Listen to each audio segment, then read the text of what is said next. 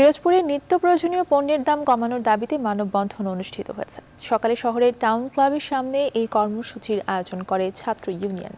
এ সময় বক্তারা অভিযোগ করেন, সরকার বাজার নিয়ন্ত্রণে ব্যর্থ হয়েছে বলেই লাগামহীনভাবে বাড়ছে নিত্য পণ্যের মূল্য, যা দুর্ভোগ বাড়িয়েছে নিম্ন আয়ের মানুষের।